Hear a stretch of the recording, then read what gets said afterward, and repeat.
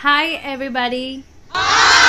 We, the Sunday School students and teachers of IPC Tabor Vasai, we're gonna do a choreography on Wake Hillsong. So sit back and enjoy, and let's praise the Lord.